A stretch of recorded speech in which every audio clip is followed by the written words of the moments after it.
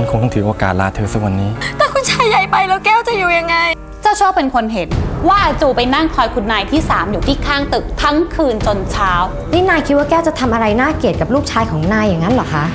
นายเชื่อใจอาใหญ่ลูกชายของนาย นายพูดอย่างนี้หมายความว่ายังไงคะ ถูกจองจำไว้ด้วยกลองทองเขาครอบครองแค่เพียง